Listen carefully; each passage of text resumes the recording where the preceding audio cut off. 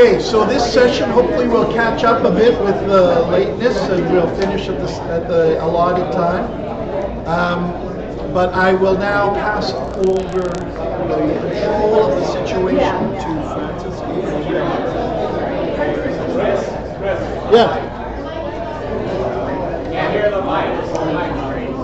Can you hear the mic now? So Kelly fixed me up yesterday. Is this, am I good? Yeah, yeah, Can you hear me? as good as it gets. It's not working. Might have to You, get you have closer no to it. control over the levels. You just have to speak closer to the mic and to make it louder. Speak like this. Can you hear me now?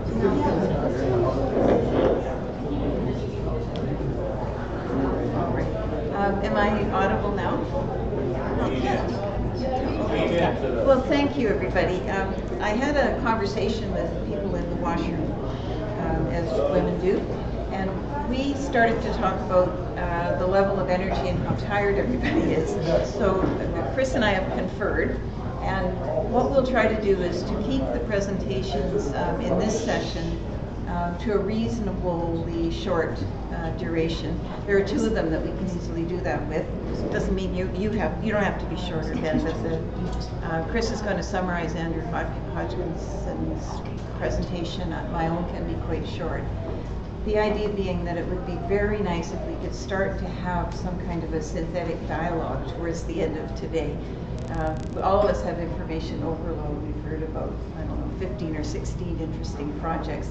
There are many convergences and interesting things about those projects that we haven't had a chance to uh, put together in a conversation. So I'll do my best to um, get us through the uh, presentations at the right pace so that there is a real opportunity for a conversation towards the end of this session.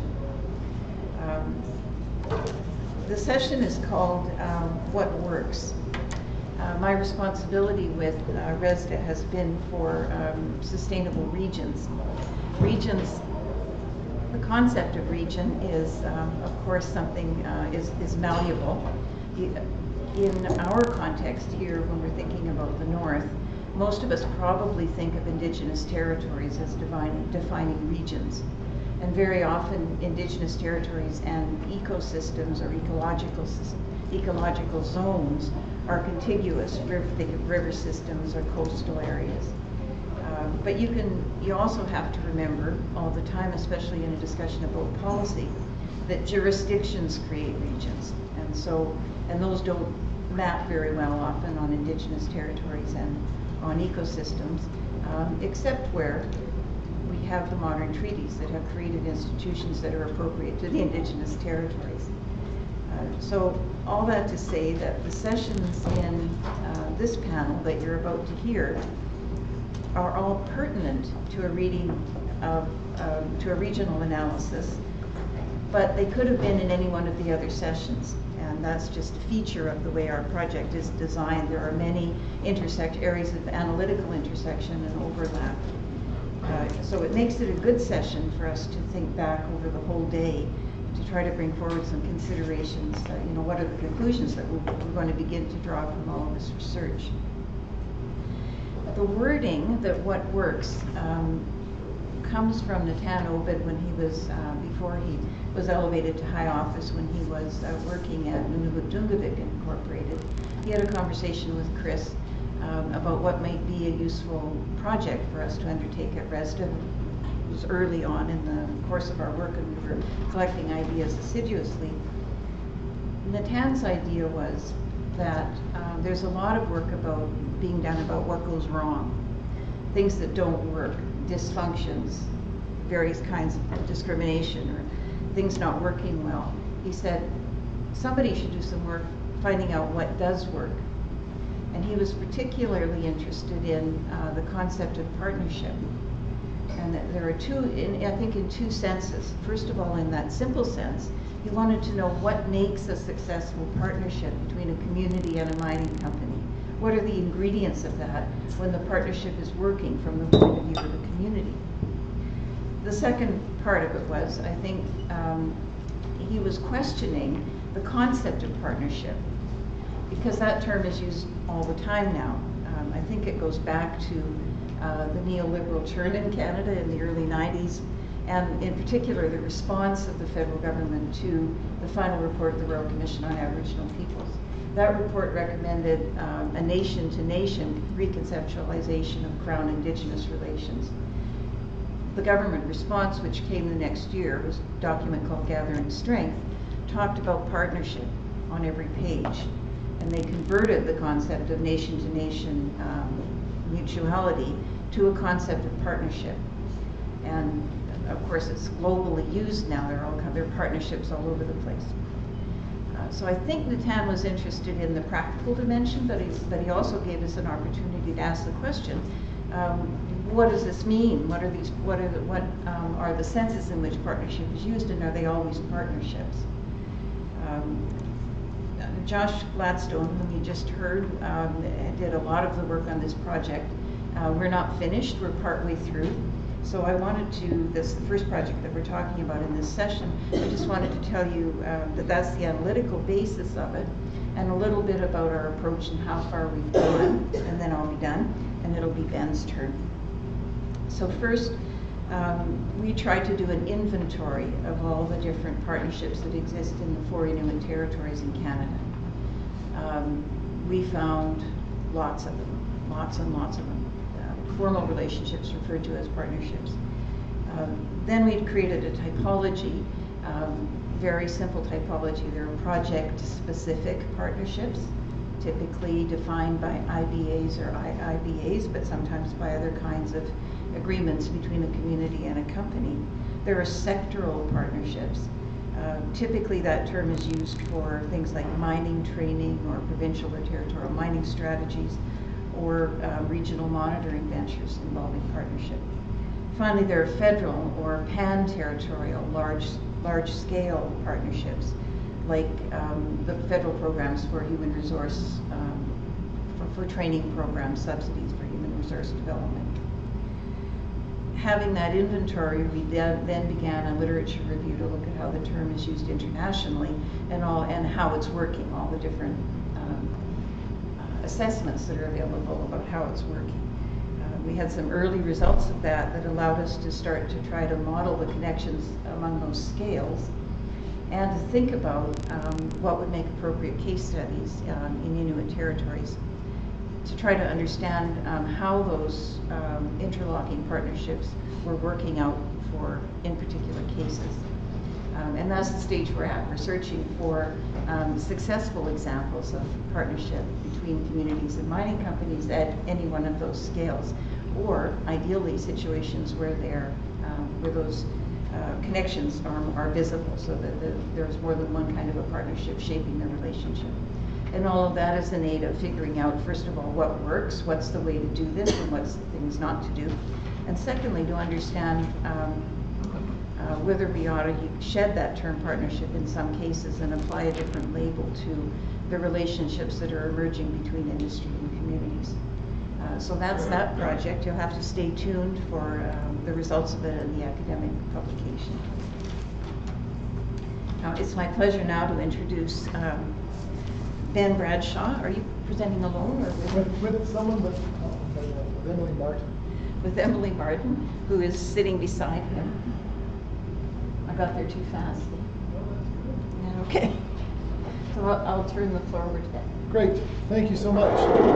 Um, lovely to be here. Uh, We are getting tired, so feel free to, to heckle or, or comment as we go along. We'll try and enliven this. Um, I uh, certainly acknowledge um, support from, from RESDA through, uh, through SSHRC, Mitacs, Polar Knowledge Canada, and multiple partnerships. Thank you for making me aware of the historical origins of that with the, uh, the Naskapi Nation of Kawawachikamach, the Nazi government, the Taku River Tlingit First Nation. Um, uh, recently with Emily and Jen Jones, the Little Salmon Carmacks First Nation.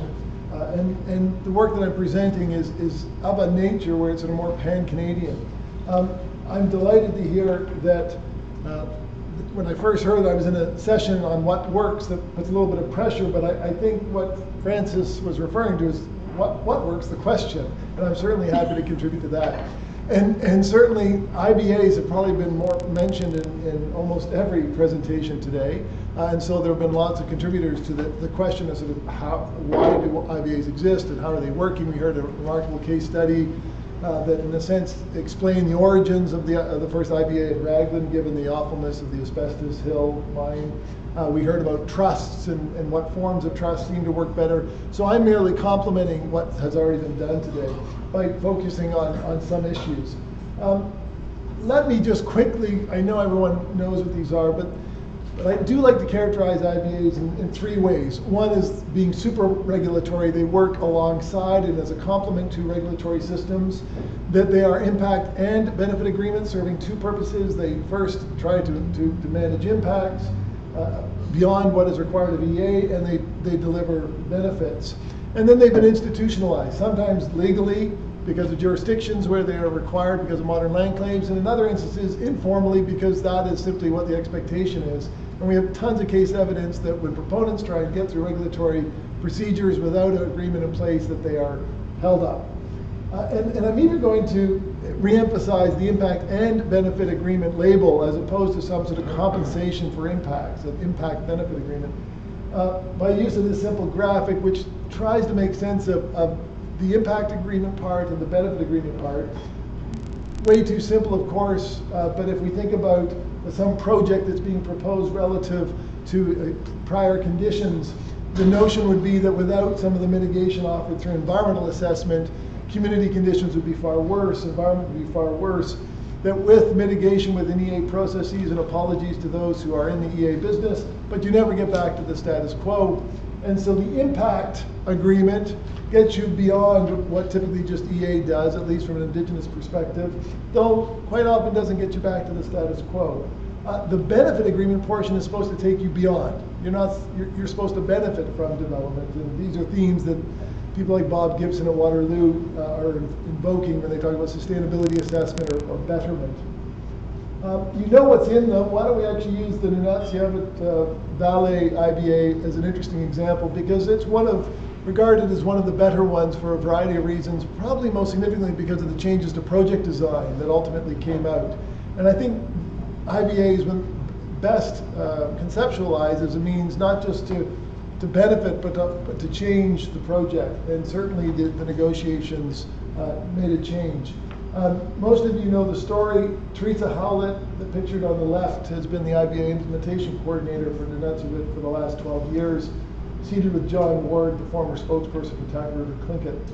Um, the IBA is deemed exemplary because of its it's higher than than, than um, 50% proportion of indigenous employment.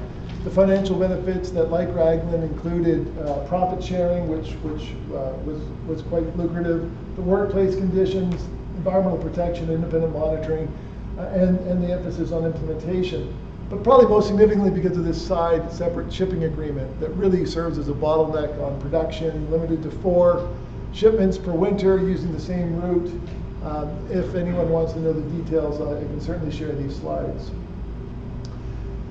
Certainly there are some good examples of IBAs, IBAs out there, but there are also some problematic ones. And one interesting bit of debate in the literature that I want to draw your attention to just for two minutes is about, uh, about whether this is a, a sort of suitable band-aid? Are we making progress? Uh, or, or, are these part of a larger colonial enterprise? And going back to one of the first uh, academic reviews of IBAs written by Ciaran O'Faircheallaigh in, in 99, sort of baby steps talking about IBAs as helping to shift the balance of power towards those who are relatively weak, the processes that involve providing communities with information and the capacity to apply that information, and that can significantly enhance their relative power. Later in the 2010 paper, he also drew attention to the opportunity to create some distance, some autonomy from the state, uh, given, given the availability of, of funds. And, and, that ultimately uh, adds to their own strength, um, their ability to, to uh, self-govern, if you will. Um, I and others have also made the case that until something better comes along, IBAs seem to be the clearest manifestation of the, uh, the achievement of free, prior, and informed consent. The Nunatsiavut say that themselves. They talk about the IBA being their collective consent to Voisey's. Um, uh, Boreal Leadership Council, which is an interesting initiative of, of, many sectors here in Canada, has produced a couple of interesting reports and are trying to exemplify FPIC in practice to get away from some of the debates. And they quite often point to um, IBAs, and the- that work's been done by the Firelight Group. Um, But there's also a counter set of arguments that have really created an interesting dynamic, an interesting debate about the degree to which IBAs are facilitating ongoing colonial relationships, that these are band-aids, that that autonomy from the state is actually not what's expected. It's allowing the crown to get away from some of its obligations that it has through the treaties. And so there's a, a healthy dynamic at play. And, and so if we think about some of the key concerns that exist around IBAs, in addition to those identified this morning around, for example, trusts and, and these sort of things, um, I identified three that, that, that I've tackled through some research, including with graduate students like Emily Martin and Jennifer Jones. Uh, certainly, that first one is, is a big one, and it's not something that we can probably tackle empirically. We, we, we rather are engaging in, in debate and discussion. The two that I'll focus on for the next five minutes are around the uncertain position of IBAs and mine permitting, especially relative to processes like EA, and the execution of the Crown's consultation and accommodation obligations. And probably most problematically, in terms of those who know this well or are living in IBA um, communities, communities, uh, communities that have signed IBAs and are being impacted by mining, there's this fear that community well-being is not advancing. Uh, certainly, wealth, material wealth, is improving, but that there's some problems here that we're not monitoring especially well, and we're not practicing adaptive management. So let me present some results and recommendations um, over the next few minutes before I hand things over to Emily for a nice case study of what we're doing in Yukon. Draw your attention to a simple observation that the permitting landscape in Canada has changed radically over the last 20 years. So that while EA might certainly draw a lot of attention, and this year especially it is given the federal review, um, it is just one of a few processes that ultimately a mine developer has to go through. Uh, and although consultation and accommodation has been shown by the courts to be something that can be achieved within EA, we also see examples where that's being done uh, in a separate table. So that too is, a, is a, uh, an important process that, that, that, that developers are going through. Uh, IBAs, of course, and then also resource revenue sharing, increasingly, not just in jurisdictions like BC, but also, of course, in some of the comprehensive land claim territories and even in, in the old treaty areas. And here I'm simply trying to differentiate between those processes in terms of some of the concerns that are addressed, the legal basis, which exists for some and of course doesn't exist for others, and then the sort of cultural basis in terms of why is it that these things are emerging, sometimes sort of around the, the principle of do no harm or a social license argument in the case of IBAs, um, where there isn't a, a legal basis for it. And all this is to say that IBAs are just part of a, a big suite of permitting processes, and that uh, from the Crown's perspective, uh, it makes sense to acknowledge and informally integrate IBAs within the permitting process. I remember when I first started doing research on IBAs about 13 years ago, and I was calling up federal bureaucrats and talking about IBAs. They'd be, no, no, don't, I have nothing to say. It's not our jurisdiction. Can't help you. And finally, by the third or fourth call, they say, well, we admit that our conduct influences IBAs and IBAs influence our conduct. And we're curious to know what's in them because, so there's, there has been an evolution, absolutely, where we're recognizing, especially around EA and IBA overlap, um, sometimes problematic, sometimes productive. So my suggestion here is that, uh, that, that integration is possible in at least in an informal way. And there's some nice models that exist that try to, to try to do that uh, especially around identifying impacts, which can become a, or at least predicting potential impacts, which can be uh, a, a, part of negotiations, certainly around monitoring and ongoing adaptive management. The other point I'd like to make is that it's evident that IBAs are seen as just one of many governance tools that can be used by Indigenous governments seeking to uh, exercise their authority around a potential mine development. Uh, and Taku River Tlingit, who I'm sorry, Chris, are just below 60, but accessed by Yukon, so it sort of fits within RESDA, um, have done some remarkable work over the last 30 years uh, around sort of their own, their own governance, their own self-governance. And undoubtedly, we, we see that those indigenous communities that do this kind of work are better positioned to participate in negotiations for an IBA or uh, EA, et cetera. And these are just some of the examples that the Tlingit have been in, involved in over the last while. Drawing on the case of the Nunatsiavut, um, really interesting, if you look at the Voisey's Bay process, and Caitlin Kenny did this for her master's thesis, Ha- Oh, boy, that didn't work out so well on your son's computer. That's my excuse. It looks good on, on mine. Uh, You don't need to know all of it, except to know that, that, that the Labrador Inuit were engaged in land claim negotiations, IBA negotiations, protest, litigation, and though they claim that each step wasn't entirely strategic, in working with them to sort of make sense of it, they realized that there was a deliberate, you know, action, decision there that, that evolved. And so it, interesting to think about how these various governance tools fit together and, and work together from a community perspective. So the recommendation here, directed more at the community side, is to treat IBAs as one strategic element, not just for strategic reasons, but even in terms of community vision. So we know that, that in the case of the Taku River Tlingit, thinking about who they are, what their values are, what a mining policy might look like consistent with those values, and sending that message out to the world is a really thoughtful way to engage. And as John Ward points out, you know, when we have those things in place, we make decisions quickly. Um, being the point, echoing a point that was expressed by someone this morning about timelines and the inability of, uh, of some of the requirements of good governance to, to rest on one individual proponent's project. So this is, in a sense, a, a pan-Canadian exercise that needs to happen over a longer period of time. And finally, just draw attention to some interesting work uh, that we've been doing with a few uh, community partners who are interested in developing their own means of, of tracking community well-being, their own indicators, inserting that into the EA process, inserting that into long-term monitoring. Um, I can show you the results of, of one exercise with the Naskapi Nation of Kawawachikamach, because they were happy to share that. Other communities, including uh, Brenda's work with Tootsel K, those appropriately have stayed private. But um, we had an interesting exercise with the Naskapi who sought to develop indicators based on identifying their values, their, their interests and worries around potential redevelopment of mining in the Schefferville area, using those to create indicators and ultimately a household survey that was administered to about 95% of the households by a now an Arcan employee who is off uh, at a medical appointment this afternoon.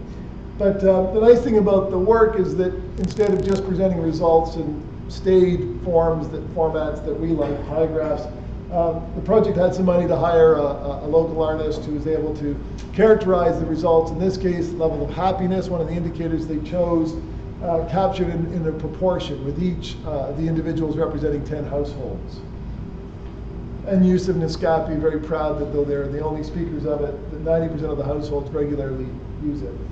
So the argument I'm expressing, the recommendation that comes out of some of that work is that given the lack of knowledge that communities have when they're presented with opportunities or um, proposals around mining, that um, they're wise to develop their own set of well-being indicators and then absolutely insist that those things get pulled into EA and monitoring if, if they uh, want to know what's going to happen with respect to sort of the, not just the availability of, uh, of country food, but, but the, the, accessing of that country food, that should be built in. And these efforts are, are critical, I argue, and, and I've made that argument in a couple of papers, including with Jen Jones. Um, we were uh, gratefully invited by Little Salmon Carmacks First Nation to do some similar work, which is being sponsored, uh, seed money from RESDA, but more significant funds from Polar Knowledge Canada to enable uh, increased community participation in the exercise. And I'll turn things over to Emily Martin for the last two minutes. She had five minutes when we started. Height difference here too. Hi, I'm Emily Martin, and I'm an MA student at the University of Guelph in geography with Ben Bradshaw. Um, and I had the opportunity this summer to work with Ben and more closely with Jen Jones in Carmacks, with the Little Salmon Carmacks First Nation. So Carmacks, for those who may not be familiar, is about two hours north of Whitehorse. Um, and with them, we were working on developing locally relevant indicators of health and well-being for use in the mining assessment process. Um, so really briefly, I'll just talk about our methods of engagement. So they were mostly interviews, uh, individual interviews, as well as we did a community dinner data gathering event, which you can see evidence of there with the, the poster. Um, also important to note is that we had some community partners who helped us do interviewing. Um, one pictured there who I conducted interviews with, and another gentleman who conducted interviews on his own. Health and well-being are very uh, personal and intimate topics, so I, I feel that it was really valuable that we had a few options uh, for people for who they could have those interviews with. Um, and then one, I think I can keep this in two minutes. One uh, theme that I noticed from my experience in Carmacks um, was uh, duality. So a deep division within the individual. I think we all know that mining can be a deeply divisive issue within communities, but something that really emerged for me in my experience and conversations that I was able to have was uh, duality within the individual. So people who would speak one moment being incredibly concerned about contamination in wildlife and fish and how that negatively impacted their well-being. But in the next breath, um, expressing a desire for employment and expressing a desire for um, future mining in the area because that also uh, benefited their health and well-being. So it's a real split and it's a real tension uh, within the individual, and that was a really, really important theme for me. Um, and I think with that, I'll turn it back to Ben, or maybe pass it on to Jen You even. can just hit the next slide and we'll say thank you. Okay. Um, but just noting that that duality presents a real challenge for negotiating, uh, not just IBAs, but any kind of negotiating in communities. So the challenge of not just developing consensus within the community and within a number of individuals, but within individuals themselves. Thanks. Thank you.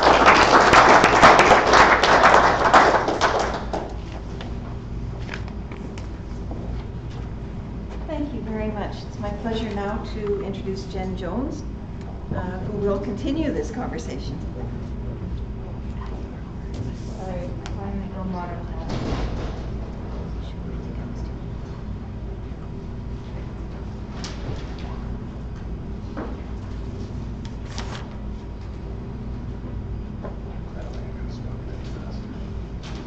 Um, Thank you, Frances, um, and thanks Ben and Emily, and Emily for setting up uh, some of my work.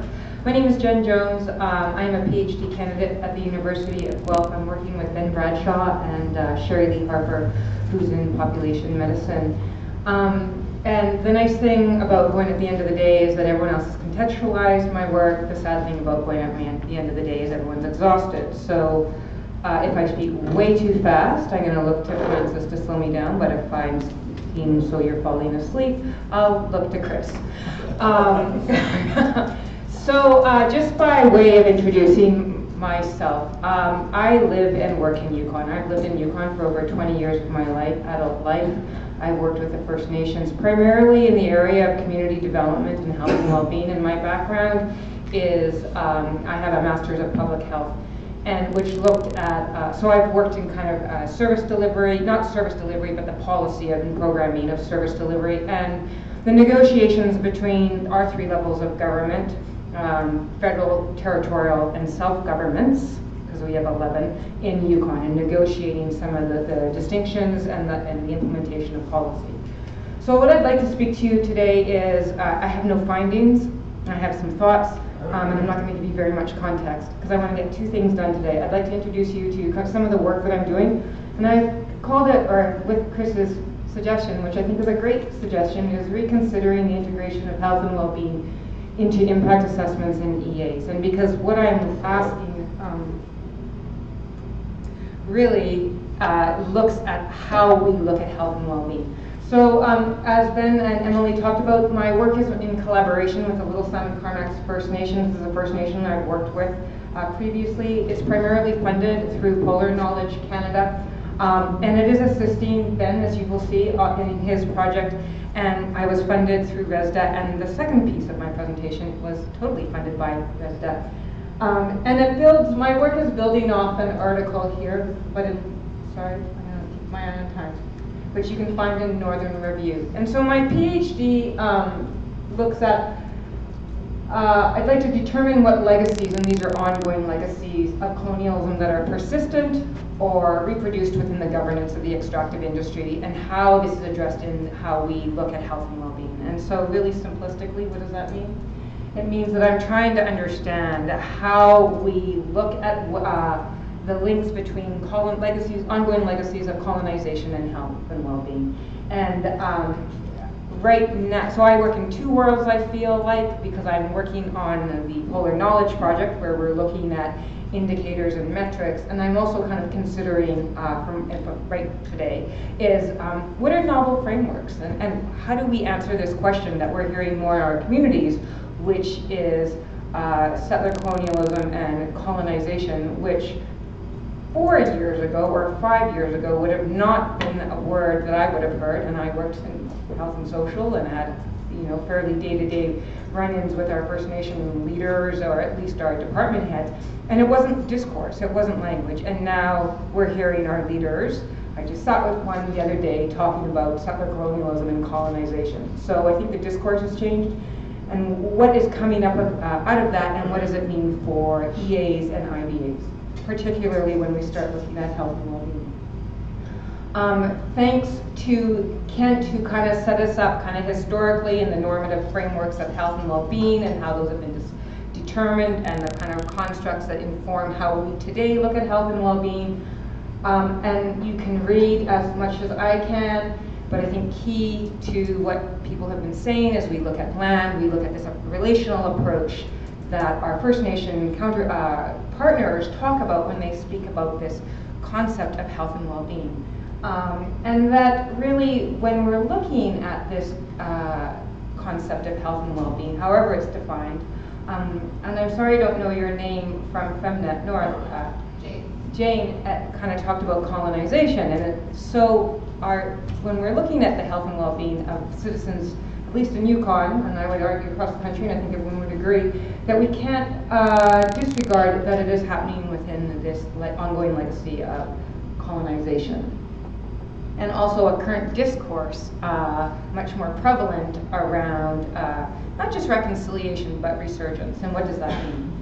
So that's the context. So methodology, as Emily said, this kind of draws on. Um, I, I, think I'll just step back. My work uh, as I move forward really is asking what it means to, or what it means to consider to decolonize method uh, research, and um, and not, I think, a pat answer, as uh, many of us would agree, agree, and that this is really a process. Um, it's involving interviews with uh, Little Salmon Carmacks uh, First Nation members. I'm interviewed talking with people in our assessment process and our other government uh, governance processes, uh, government workers and other First Nation um, uh, workers who are working in health heritage uh, and the assessment process. And speaking to some of our uh, leaders today and uh, past, I mean, they're not passed away, meaning that they're retired from their work. Um, and that um, we've done, with Emily's great help this summer, we did around 40 interviews, um, and there's more to come. There's an advisory committee up uh, in Carmacks, and that's who I'm reporting to primarily. And um, this summer we were met, we, it's mostly qualitative, it is all qualitative, but we did do a flash survey, for lack of a better word, where we had heard through our community meeting uh, a value and we just wanted to get some kind of uh, strength to that value. So we asked people four questions just around that value, which was community gathering.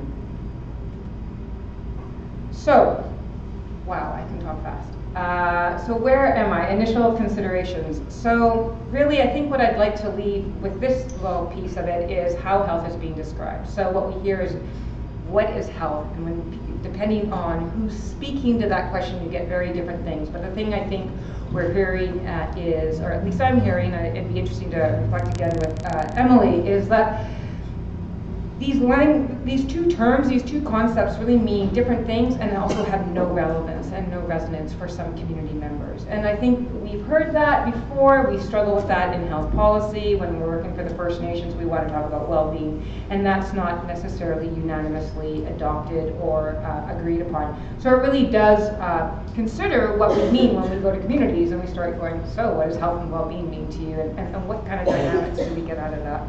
Um, I think the change in discourse is really important, and it will be interesting to see how this kind of flows through my conversation. I think when I met Ben, I had one kind of discourse going through my head, and that came from where I was positioned, and all of a sudden coming back, I'm like, whoa. And that discourse comes, I would say, yes, out of the TRC, but I also think it's a mounting frustration um, amongst some of our citizens uh, and mm, leaders um, around how we look at health and well-being and these mechanisms and how we're defining health and well-being. Uh, the other thing I kind of wanted just to draw two little things, uh, your attention to two little, two things. Um, absent data is data. And so what we're not hearing, and that was really evident this morning, uh, this summer when Emily and I were interviewing citizens, and what was not being told to us. And Emily spoke uh, a little bit about, or just made reference to the very fact that community members weren't going to share with me um, or Emily uh, because they don't wish to be pathologized as ill or as violent or dealing with drug and alcohol abuses. Uh, and so what is shared when we go into the communities or when con- uh, contractors go into the community or even then brought to the conversations around EAs and IBAs. And there's several reasons for that. Um, I'm happy to discuss those. I, I, I understand that there's several reasons. The other piece that I'm very interested in as someone who works in public health is this whole notion of population health and the social determinants.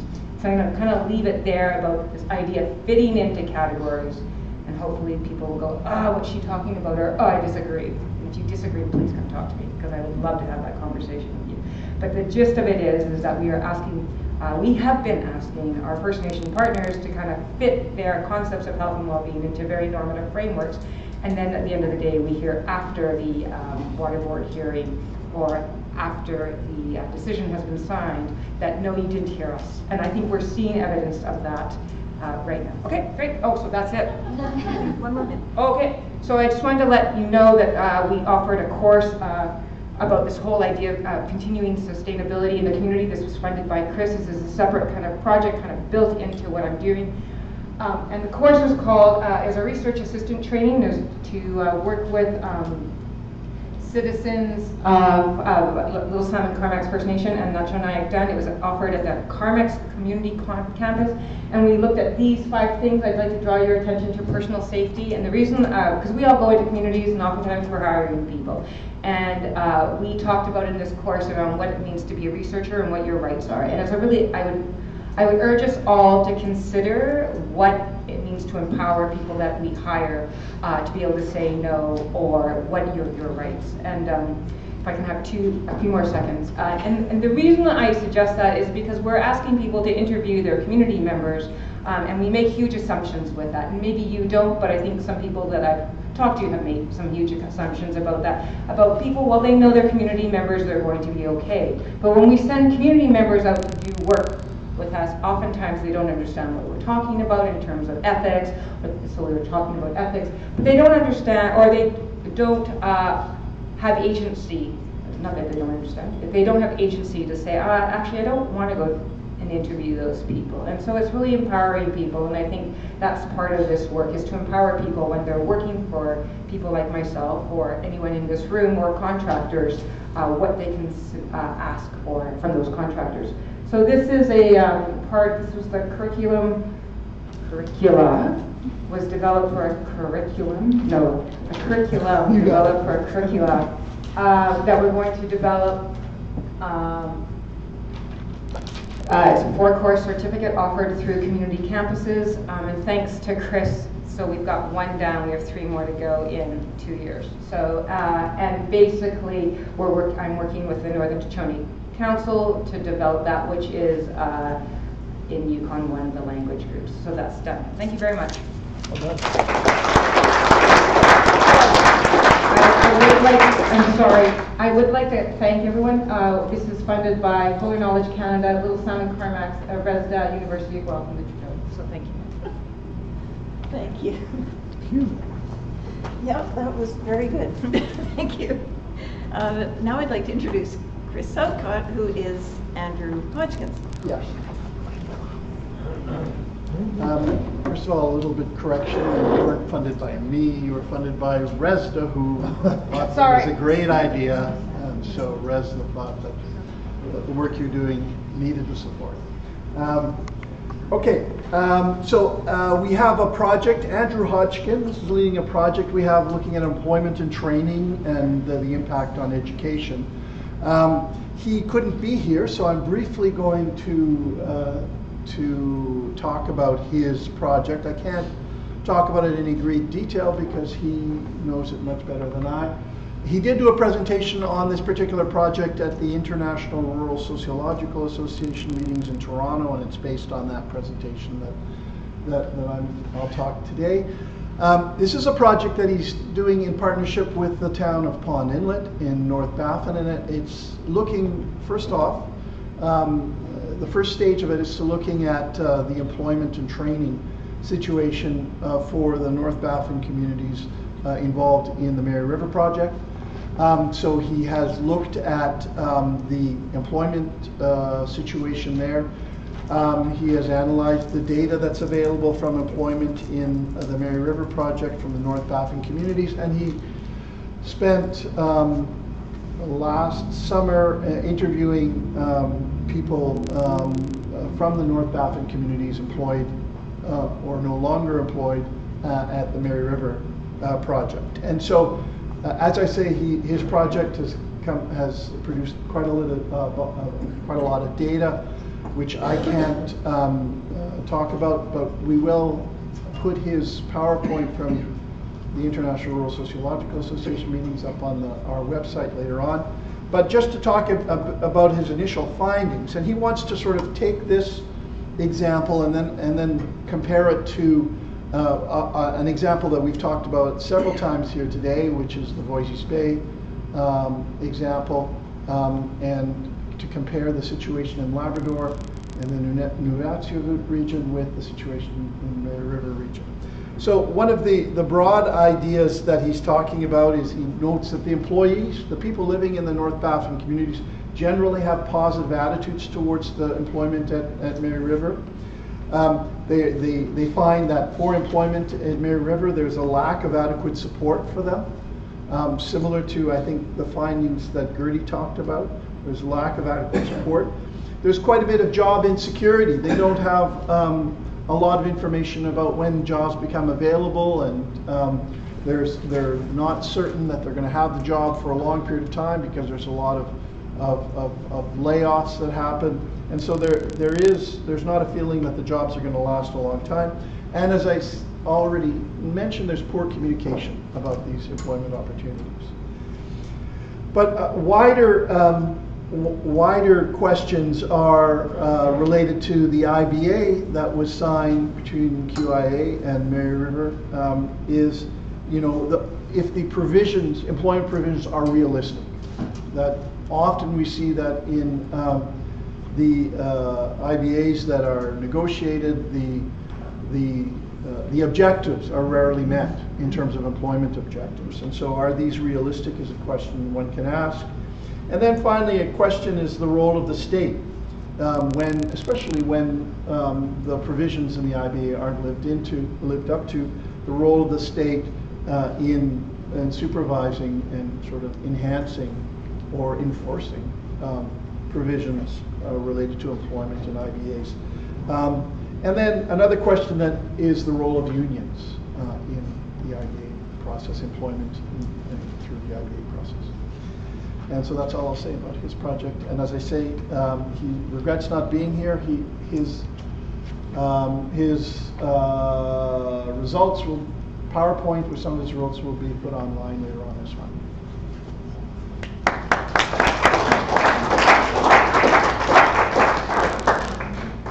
Thank you, Chris. Um, It's my pleasure now to introduce Andrew Muir, who is uh, one of my own doctoral students, nearly finished his dissertation. Um, His work is based in Rankin Inlet. Thank you very So much. Andrew, 10 minutes. Okay.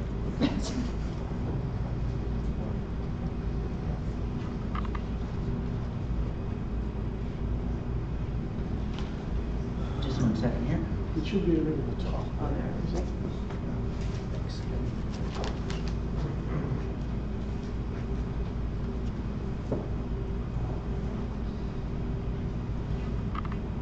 Uh, Good afternoon, thank you very much for having me. Um, So today I'm just going to be doing a very brief uh, presentation, uh, which will be based on the research I've performed uh, for my dissertation in public policy at at Carleton under uh, supervision of Grant Staple. I hope to defend my thesis um, this year, or early next year. Um, so the main uh, research aim which I had is to understand kind of the institutional structure of the community of Rankin Inlet in Nunavut. Rankin Inlet is, as most of you know, I'm sure, it's about 2,500 people.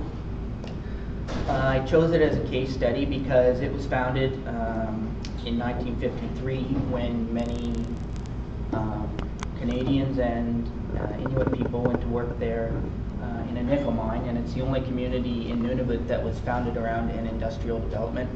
Other ones were formed around a missionary um, presence, RCMP or fur trade post.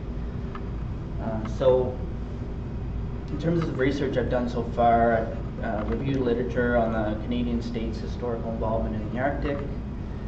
Uh, I've looked at the institutional basis of Inuit society and their economy, uh, particularly Inuit in the Kivalliq region of Nunavut, um, who ended up being many of the first miners in the 50s. And they were historically, or many of them were historically referred to, they were so named as, uh, by anthropologists as Caribou Inuit. Uh, in addition, I went to Rankin and I stayed there for about a month in 2012 and I tried to do interviews with the informants, including elders, business people, government officials, and uh, local community members. Oh, in addition, I, um, I went to the University of Saskatchewan um, where Professor Robert Williamson, who uh, is now deceased, uh, he had left his a lot of his life's work in the archives there. Um, he actually lived in Rankin Inlet for several years uh, while the mine was open and afterwards, and he went on to become a professor at University of Saskatchewan. And uh, he wrote quite a bit about uh, Inuit culture and intera Inuit interaction with uh, commercial activity, including at the mine itself in the 50s and 60s. Um, so just some pretty modest goals here. I've just explained the analytical and theoretical approach to my thesis, present some preliminary interpretations of the work I've done so far. Um, just talk a little bit about maybe where this could lead for future research and then be happy to answer questions and receive any feedback that anyone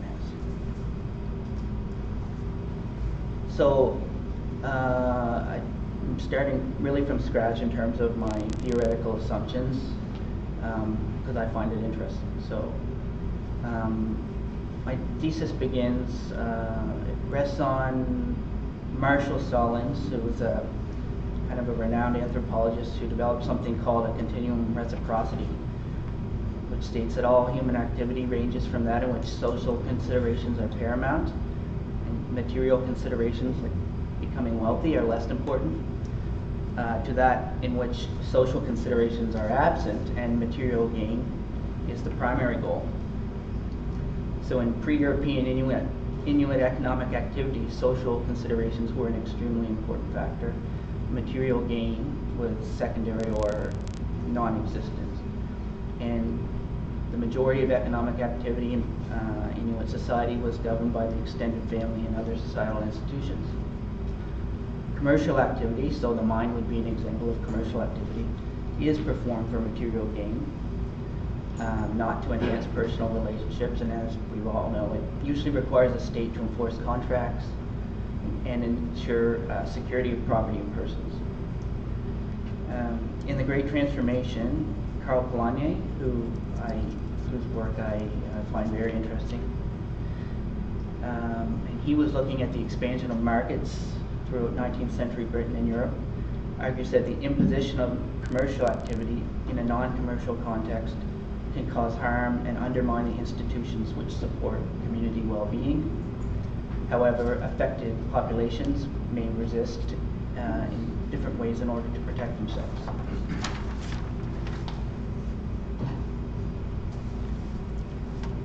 Um, so in terms of using that analytical framework to understand uh, Rankin Inlet's institutional uh, framework and institutional framework of the economy. I, I, went throughout kind of the history of commercial activity in the Kivalliq region.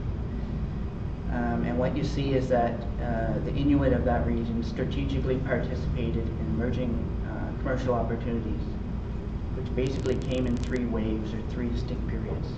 So there was the Fort Prince of Wales period when uh, it was essentially a fur trade post in Churchill, Manitoba, present day Churchill, Manitoba.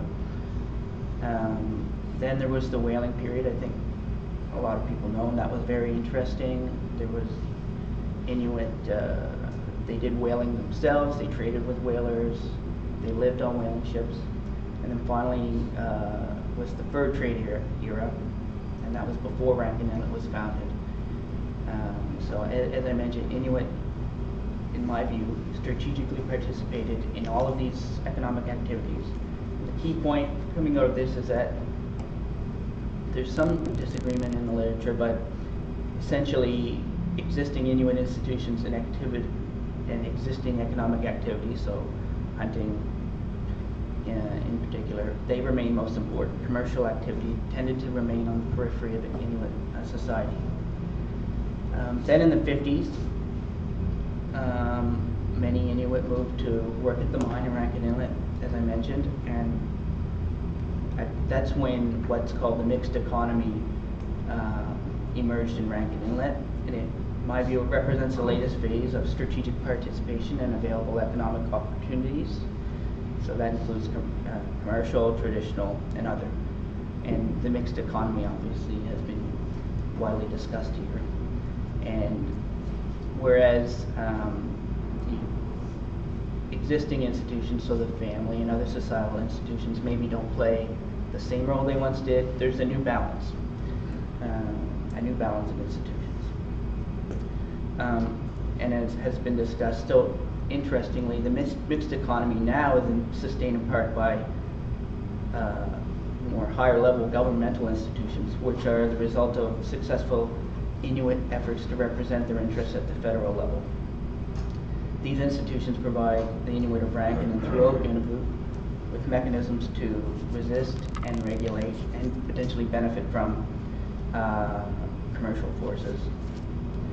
So when Polanyi is talking about uh, 19th century Britain and Europe, uh, he says society resisted in something called a counter movement. Um, and this took the form of labor laws and the development of the welfare state, which essentially protected uh, the people there from the, uh, the penetration of co commercial forces throughout society. In my view, uh, the Inuit of the Kivalliq region had something similar, analogous to a counter movement in how they uh, strategically relate, regulated their um, interaction with commercial activity to protect their, themselves and their well-being while taking advantage of existing opportunities. So there was kind of an on-the-ground counter movement. And then in the, in the latter half of the 20th century, there was a, a legislative counter movement where the Inuit across Nunavut took advantage of opportunities at the political level to represent their interests.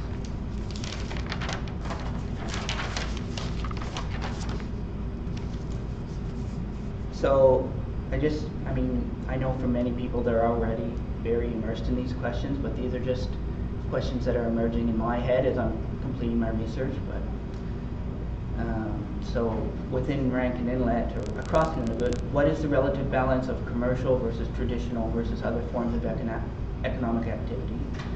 Uh, one thing I learned while I was there is that many people in Rankin Inlet consider it to be an industrial uh, there, there's an industrial spirit which um, people are proud of the mine that was there in the 50s and the early 60s. And probably Rankin um, has a greater proportion of commercial activity versus many other uh, communities in Nunavut. However, that I think that's worth exploring. Um, how do existing governments, so government of Nunavut and Canada programs affect individual and family decisions? Regarding time allocation and various forms of activity, economic activity, and I was just thinking, so Josh was talking about the Nunavut Hunter Support Program. So how is something like if there was a guaranteed annual income instituted, which I know is, is starting to be discussed, how would this affect decisions that people make on how they, what kind of economic activity they do? Are they more likely to hunt, less likely to hunt? I think that's worth exploring. And what are the challenges? So what are the constraints facing territorial and local and local decision makers in uh, in maintaining the balance of commercial versus traditional versus other forms of economic activity? Um, so that's it. Thank you very much.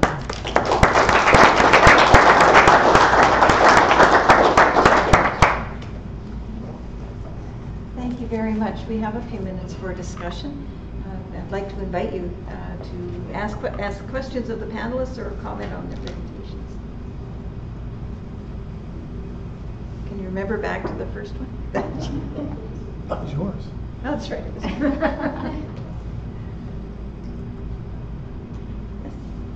But ma- maybe stand and introduce Sure. yourself too. I was Uh, having trouble hearing everybody. Sure. Uh, my name is Stefan. I work for Stratos uh, Consulting Firm. So I'm not a social scientist by training, nor am I an academic. So I'm I'm going to ask a question that maybe other people know more about, but I'm was interested uh, in your comment around decolonizing research and what that, what that. Maybe you can illustrate that with examples or something, or maybe that's the ultimate challenge. I think that's the ultimate question. Yeah. Can the people at the back hear this at all? No, okay. Would you repeat your question? I'll say it again. Or actually, you could come to the mic and it- repeat it, I'll say it. Okay, uh, I just want to, to comment on decolonizing research and if there is emerging practice. What is the emerging practice for decolonizing research? Come up to the. Or is there one? Um, Thank you. I think it's a really good question, and I think that's part of the work that we're seeing a lot of scholars look at um, in terms of using, uh, we we often talk about community-based or participatory. It's one form of engaging the communities in actually the decision-making process. Um, I would argue uh, it goes a lot further than that because I think it is actually a process, and I think it's uh, some people spoke to about their uh, relationship um, between uh, our First Nation partners and research. And uh, I guess I'm reflecting on kind of a conversation I just had the other day with um, a, a, leader in our communities about uh, he too is struggling. What does it mean to decolonize research? Um, and where I'm standing today, um, uh, for me personally, it's about, uh, and I think someone else questioned, so it's not my question, someone else asked this in the room, and uh, other people have asked this, is why do we continuously do the same things if it's not working? So how do we kind of deconstruct that, um, that question and then put it into the work that we're doing? So if something's not working, uh, how do we move forward? So, sorry, that's really vague, but I think that's part of the process. Would anyone else like to answer the question? Yeah. No? Uh, Do you have another, que- a different question? I, I would just say that increasingly, um, this debate is going on in the universities. My own institution has a two-year, a two-week uh, summer institute on that, on that matter, draws people from all over. Uh, Many universities now have um, been tackling that question. There's also quite a fine body of scholarship now, you can read about it. A very accessible book is by Shawn uh, Wilson called uh, Research as Ceremony. Is it Wilson? Yeah, Shawn Wilson. Sound right want when a I said concrete example? Is there one that might be useful? A concrete example that might be useful? Um, a concrete example that, do you want me to offer one? Well, yeah, Do you you want me to offer one? Okay. Well, um, that concept of partnership is one of the, the concept of management is another. We have to question ourselves for using those concepts as we work with Indigenous communities. My principles are try to do work that people ask me to do, not that I think of, um, almost all the time. Uh, and I try to um, listen before I formulate a question. Uh, those are things that help erode the um, uh, the power that people who are going to actually do the research have, the power of the pen and of interpretation. So it's a process of uh, coming to a certain base of humility and listening and understanding that we're all on a learning path, not there with something to offer. That, those are the roots of it, but everybody's working out their own way of operating and all of us are learning it as we go. But it's important to remember that unless we're working in an indigenous language, um, we're using concepts that don't fit very well with people's experience. I thought Jen's comments were very uh, powerful in that regard, and it's true in my own field too, which is to do with employment training and economy. So that means we have to be very careful um, how we conceptualize what we're doing and very careful to follow the lead of the people we're trying to work. That would be. Anybody else want to comment on this? I just had another question. Okay, different question? All right, we'll go with different, que- are you on this point? Well, I was just going to give another example. With Okay. Fem North Net, we started with the notion of economic restructuring and how did it affect women. And one of our DNA participants said, well, it's going to take me a long time to figure out how to talk about that in our community. We don't have words, our concepts are not the same as those, right? So it wasn't just how do you translate it into clear language.